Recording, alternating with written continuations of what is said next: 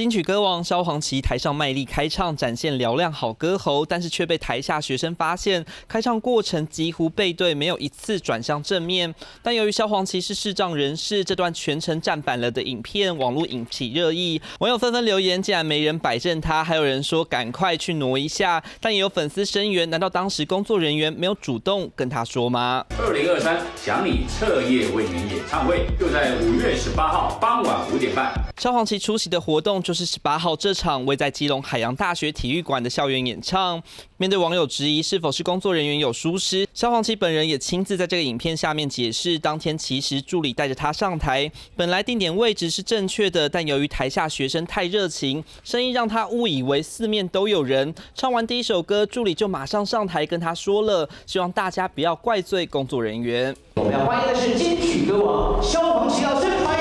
过去出席各大场合，其实都有工作人员随行搀扶，带着萧煌奇到定点。萧煌奇因为先天性白内障，十五岁之后视神经萎缩失明，这回站反开唱，影片曝光，他还第一时间暗赞。性格幽默的萧煌奇，过去经常大方开自己玩笑，还曾抛出过坐驾驶座的照片，自嘲来签新车，幽默性格圈粉无数。三立新闻李文瑜、夏邦明台北采访报道。